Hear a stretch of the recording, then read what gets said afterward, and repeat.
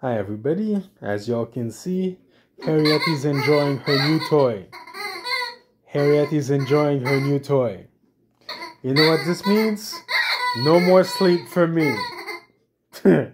no more sleep for me.